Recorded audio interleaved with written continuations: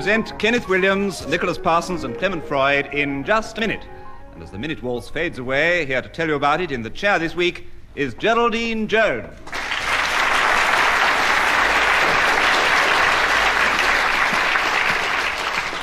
Well, thank you. Here I am, surrounded by buzzers and stopwatches and a lot of rules which I'll explain as we go along. I also have a list of unlikely subjects for the panel to talk about for 60 seconds each without pausing or going off the subject or repeating themselves. In other words, they have to keep going, stick to the point, and not say anything twice. The first round begins with Kenneth Williams. Will you please talk for one minute on how to eat macaroni delicately and without cutting it, starting now? Macaroni, this is a wheaten paste. I think it's important that we define the thing. It's a wheaten paste uh, squeezed into a sort of tube like shape, and the best way is to take it on your fork and to twist it uh, so that the whole thing is eventually bunched. So to speak, on the end of the fork, and then you convey it to your mouth. In this way, of course, you. That, Nicholas Parsons. Hesitation. Yes, terribly informative, but I think he was hesitating. So Nicholas Parsons gains a point and has 33 seconds on how to eat macaroni, etc., starting now. Well, the art of doing this, of course, is something which has been lost to the younger generation. Brought up on op and populence, they. Clement Freud. Deviation. In what way? Hasn't mentioned macaroni. Decorously innocent. Could have been talking about frying spaghetti instead of eating macaroni. Uh, fair enough. Clement Freud. Clement Freud has 25 seconds on how to eat macaroni, starting now. Ideally, you get a fork in your left hand and a spoon in your right hand. You get hold of this former implement, pierce the macaroni. Nicholas Parsons. Hesitation. No, I, I don't think he No was. sense of the theatre, has he? Have you noticed? I, I, I think you have to make No, allowances Philip. for natural slowness of speech. Clement Freud gets another point and has 14 seconds, starting now. And so, having got the macaroni in the spoon, you twist your. Nicholas Parsons. Repetition of macaroni. Yes, all right. Nicholas Parsons, you have a point and 12 seconds, starting now. The famous Italian chef, Signor Gunta Panciato, once said to me, when you get to your macaroni, you got to stuff it right up the shoulder spot. You got to get the round part, because if you don't get the round or smooth, you don't get that twisty thing. You got to have the twisty, because that is so lovely. Fine.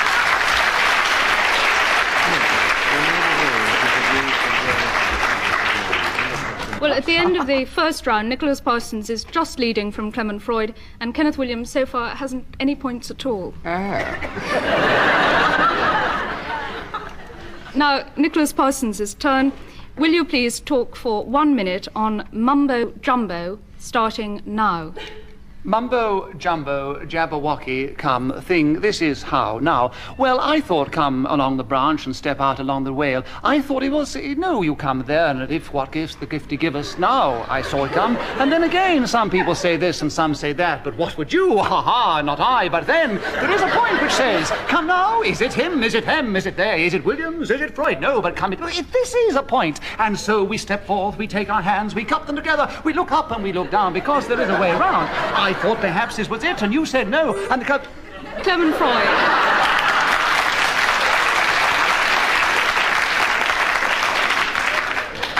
I didn't understand it. Which rule was he breaking? he repeated mumbo jumbo. What does the audience think? If you think that Clement Freud is right and Nicholas Parsons was repeating himself, will you cheer? If you think Clement Freud was wrong, will you boo? All now. well, I'm afraid the audience is very much with Nicholas Parsons, who gains a point and has 12 seconds left starting now. Oh. Clement Freud. Clement Freud. Hesitation. Yes. Virtuoso. Virtuoso as Nicholas Parsons is, I think he did hesitate there. Clement Freud. Clement Freud has 11 and a half seconds on Mumbo Jumbo starting now. That's it. That's it. Hesitation. Yes, such gallantry between you is very perturbing.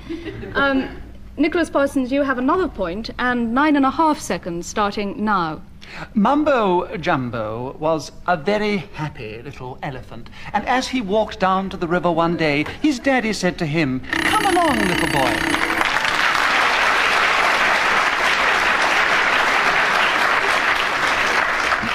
Well, at the end of that round, it's Nicholas Parsons way in the lead, uh, Clement Freud second, and Kenneth Williams still very much behind. Don't keep rubbing it in. I, I say no more than the truth. Clement Freud, it's your turn now. Will you talk, please, for one minute on getting out of jail, starting now? The most important thing about this subject is to get into jail in the first place, in order that you can start on this exercise. I would like to commend to listeners a number of useful ways of getting into jail. One of them would be to attack Nicholas Parsons with a blunt instrument. Uh, this would cover a multitude of useful causes, like removing the enemy, Nicholas Parsons. Hesitation. It was indeed hesitation. 31 seconds on getting out of jail, starting now. In order to get out of jail successfully, you must first read the small print in your contract. It usually goes something like this Subsection. Kenneth Williams. Well, uh, hesitation, but certainly deviation as well, because we're supposed to be discussing getting out of jail, not your contract. Let's face it. I think you're right. Yes. It, it did seem a bit sir. devious.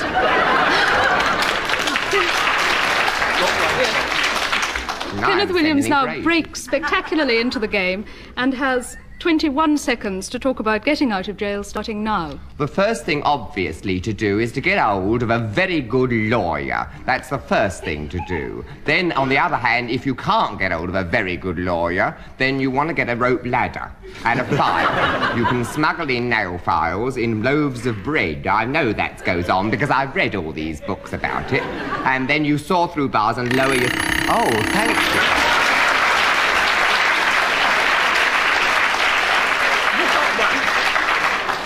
We start a new round now with Kenneth Williams. Uh, will you talk, please, for one minute on Hocus Pocus, starting now?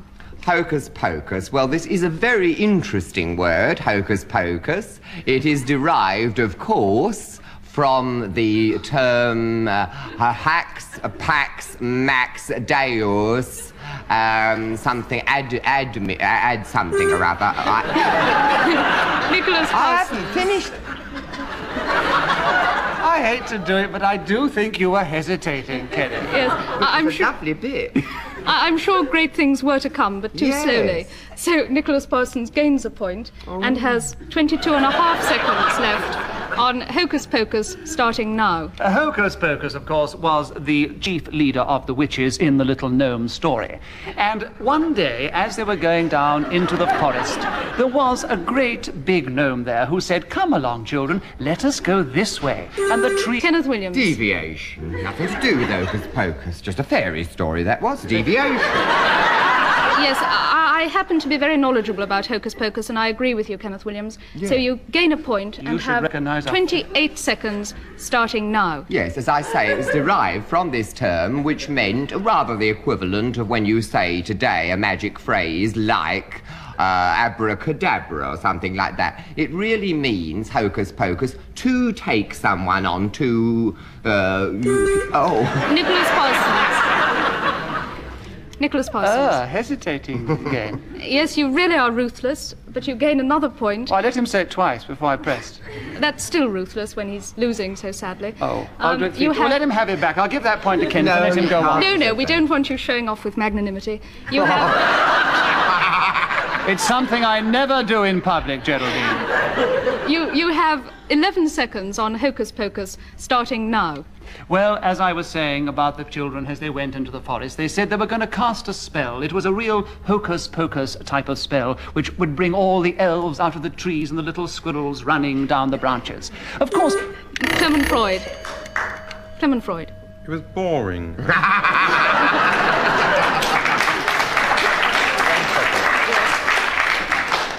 Um, I, I think from the applause that the audience agrees with with you. Yes, fair enough. Uh, a new rule has been born. You have only one second left, starting now. I won't. And Clement Freud just got that point for ending on the bell.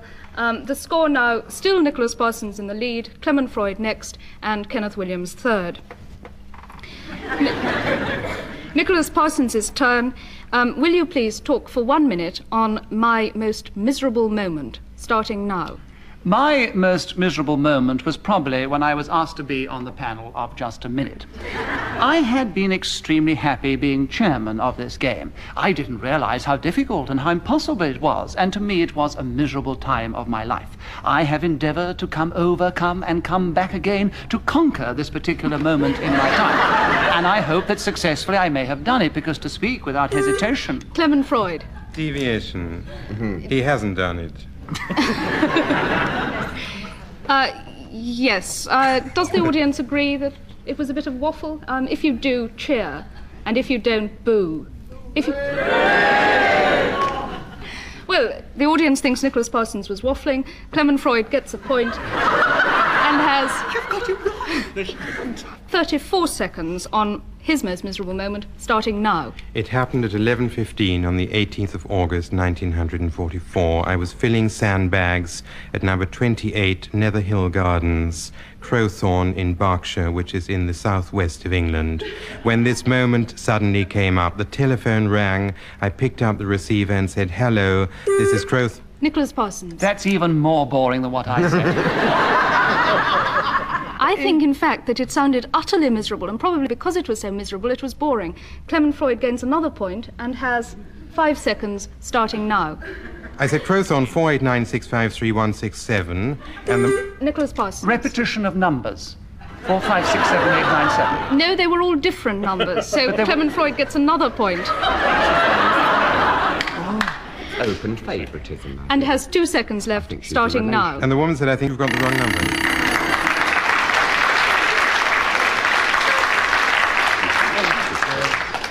Um, well, after my impartial chairing, um, Nicholas Parsons and Clement Freud are now level, and Kenneth Williams is in second place. That's nice. It's, Don't worry, she'll favour you this time. Yes. it's now Clement Freud's turn to talk for one minute, please, on disposing of orange pips, starting now. These are definitely the best color pips of which to dispose. I have tried to dispose of many other colored pips without success, and so I'll confine myself in this brief talk to the subject on the card. The best. Kenneth Williams. Hesitation. Yes. Yes, I think it was hesitation. Uh, a point to Kenneth Williams. You have 40, 43.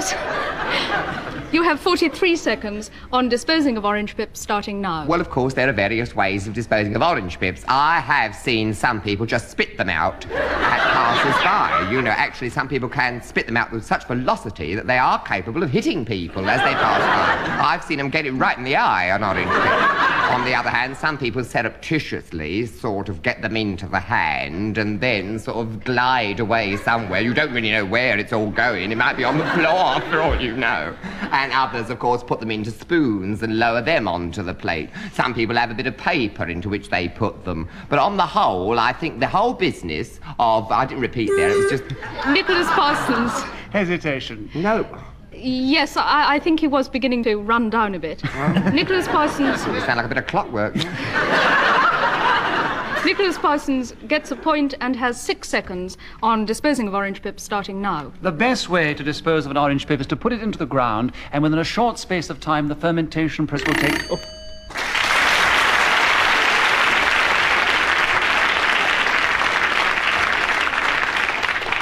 Kenneth Williams, it's your turn now. Would you talk for one minute, please, on being measured for a suit?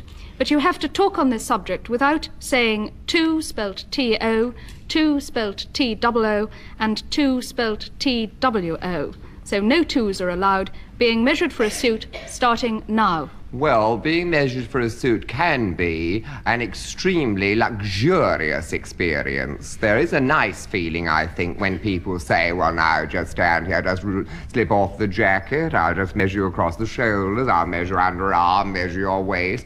Of course, that time it's a bit much because you suddenly realize that you have put it on a bit, perhaps, you see, and that's not very nice. They say, oh, hello, he was 30 last time, 31 here. Have to lay off the starch, I think, and the port, uh, lay off the wines and all that sort of thing. That can be very embarrassing indeed. I haven't said two you, I don't think. Clement Freud. Two. Yes, he did. He, he challenged you to challenge him. So Clement Freud gains a point and has 21 seconds starting now. Et tu, Brute. Nicholas Parsons. Nicholas Parsons. You used two words. Uh, He no, said that, that's two. not He allowed. said two. No, he yes, said but I specified, you see, how the two was to be spelt. He ne- and Yes, the, but, but it wasn't that too. I know Clement Freud. He doesn't speak Latin normally. Well, I know that he does, uh, and even if he doesn't, the Latin is correctly spelled T-U. My education has at last been of some use to me. And so Clement Freud gains another point and still has 19 seconds starting now. The tailor takes his tape and runs down my inside thigh measurements, which he does with tremendous ability. 31, he shouts, then 33. He then goes to my mm. waist. Nicholas Parsons. To my waist. Well done. Yes, you're right. Um, you have one point and seven seconds on being measured for a suit starting now. Being measured for a suit is one of the luxurious things of life. Clement Freud. Hesitation. Yes. Yes, he was fumbling a bit, I think. Yes, Um, he was definitely fumbling. Miss Lady Chairman. Madam Chairman. May, may I say, you're, you're so charming and so understanding and so kind to people. I was born with an impediment. I mm-hmm. do have a difficulty with my speech.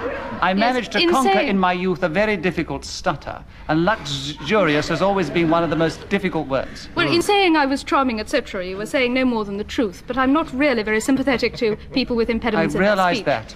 Clement Freud has a point and She's hard. two seconds left, starting now. My waist measurement is Nicholas Parsons. Repetition, he used the word waste before. No, I- I'm going to give it to Clement Freud. He has one second left, starting now. chest.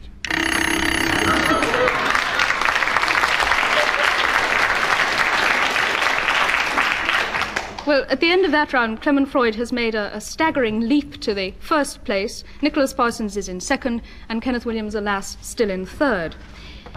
Nicholas Parsons, it's your turn now. Will you talk for one minute, please, on how to open a bazaar without saying the word the, starting now? Opening a bazaar is a bizarre experience. The whole point is Clement Freud. The whole point. Yes, he did. Um, you have 55 seconds on how to open a bazaar, starting now. Ladies and gentlemen who have come unto my garden this afternoon, I welcome you all most sincerely from a deep down part. Nicholas Parsons. he's getting so slow, you know, it's obvious hesitation. You can't. I, I I agree. You don't need to argue it. I'm surprised you didn't interrupt sooner. Well, I was afraid of being penalised. You gain. I'm always fair. You gain one point. How to open a bazaar, starting now. You take occasion, which is, after all, the thought of. Clement Freud. The thought. Yes. Unfortunately for Nicholas Parsons, Clement Freud gains a point and has 25 seconds, starting now. My Lord Mayor, you chaps over there, gentlemen. Kenneth Williams. Deviation, Lord Mayors aren't at bazaars. That's ludicrous. Um, well, I suppose very posh bazaars, maybe not in general. Kenneth Williams gains a point and has 19 seconds to talk about how to open a bazaar without using the word the, starting now. You get up and you say something which is reasonably funny to open your speech, and then you cut the ribbon and. Clement Freud. The ribbon. Yes, I'm afraid so. Uh, You have gained a point. You've gained a point and you have nine seconds, starting now. Any old ribbon and any pair of scissors will do this job handsomely. Ideally, it should be conducted by someone wearing a bright.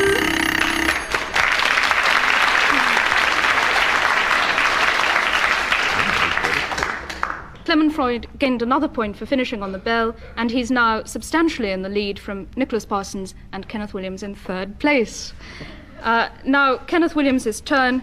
Will you talk, please, for one minute on the sport I least enjoy, starting now? Well, that's not very difficult for me because I don't really enjoy any of them. And I think, I think it's very significant that the real brains of this world are not to be found rushing about on a, on a football field chasing something that's got a lot of air in it and a bit of rubber.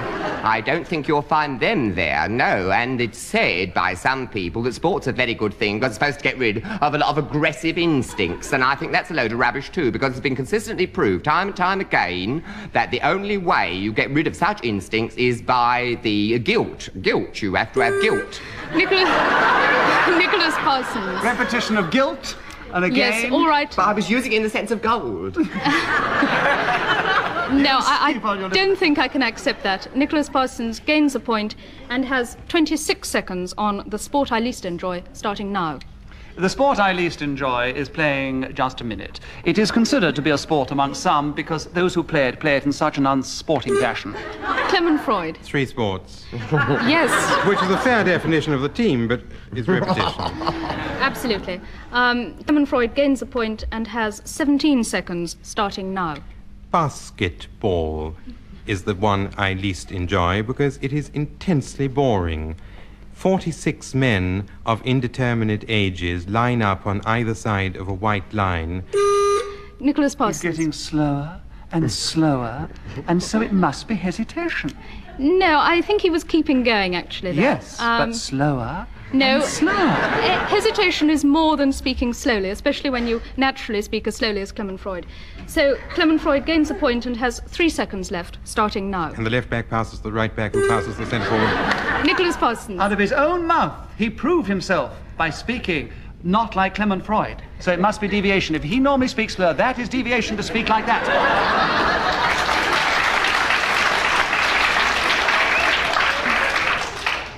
Yes, Nicholas Parsons gets a point for cleverness, but not for knowing the rules of the game.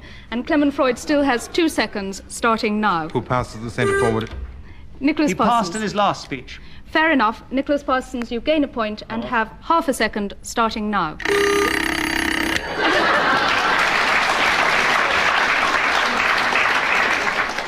Well, the scores are still Clement Freud in the lead, Nicholas Parsons very close behind him, and Kenneth Williams third.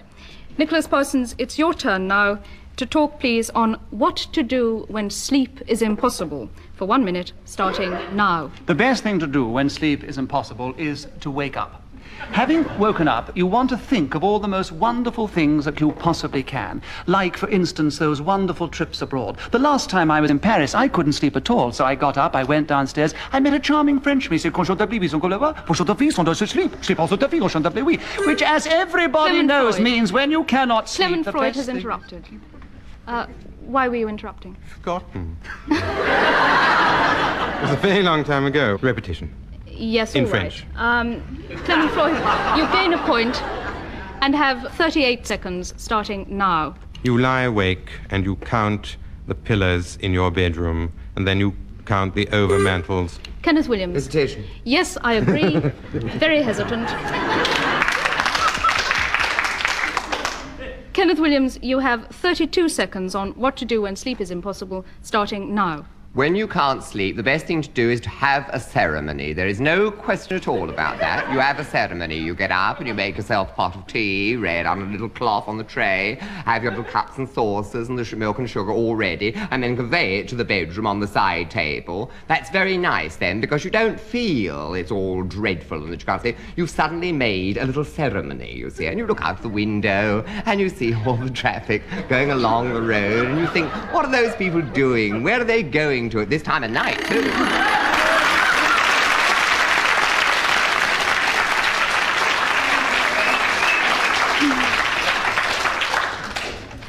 And that, I'm afraid, is where we must leave it, because Just a Minute has to be off the air in just a minute. Well, then don't mention Um, the marks, dear. But I. I have time, alas, to Kenneth Williams's undying shame to mention that in this game, Clement Freud won uh, with a substantial lead over Nicholas Parsons in second place and Kenneth Williams, alas, in third place. Goodbye.